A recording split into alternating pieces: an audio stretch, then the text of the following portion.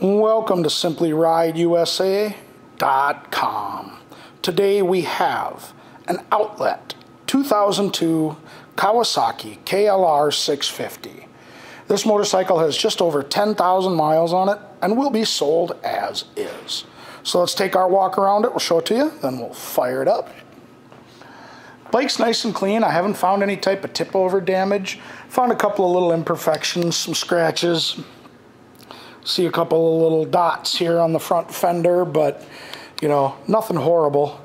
Tires appear to have good tread on them, but I do believe they are aged. Comes with a fork brace, engine guards, grips,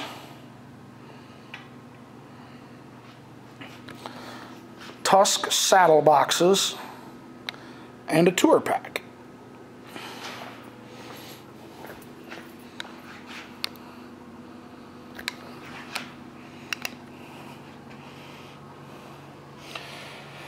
Same with the rear. Got good tread on it, but is aged.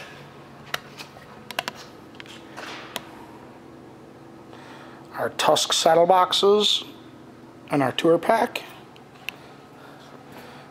Engine guards.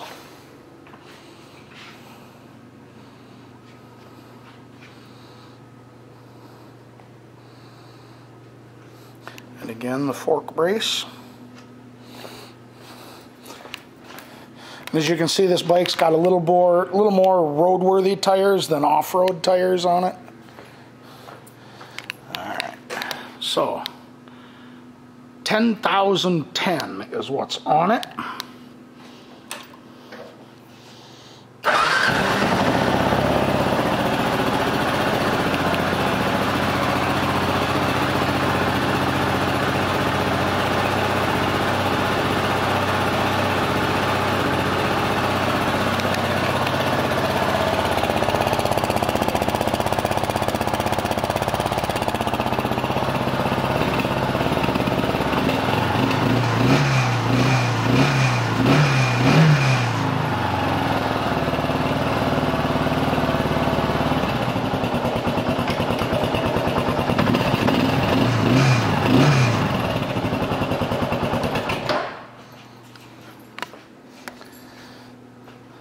This 2002 KLR 650 is an outlet motorcycle, which means it will be sold as is. Thank you for shopping SimplyRideUSA.com.